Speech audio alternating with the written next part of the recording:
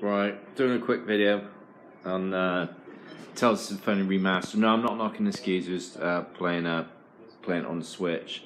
I'm just talking about the fans in general, the disgruntled fans on the interwebs, the the weebs that, that tend to gravitate towards Tales of. I'm I'm I'm a fan Tales Tales of series. Symphonia was my first game. That was the first one to be localized.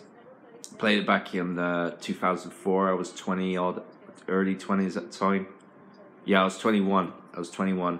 I'm for and I'm 40 now, so I'm getting on a bit.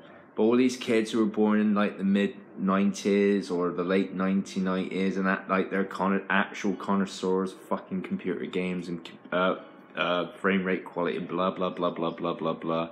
Um, like people my generation, people before that played games during the 70s and 80s, and we played crappy fucking frame games with uh, crappy frame rates. So you know, you guys are still fucking lucky to get a fucking remaster of a classic. I don't know why you got lot bitching about it. Alright, it's not fucking not gonna be fucking Tales of Arise. It's a remaster of a twenty odd year old game. That is actually that's still the most popular fucking Tales of game going. Alright, so so far so good. The quality is good. I see no stuttering or any of this bullshit that people are talking about on the internet. But that's Americans for you. to get fucking pampered as fuck, don't they?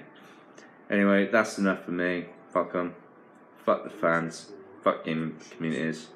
That's over and out.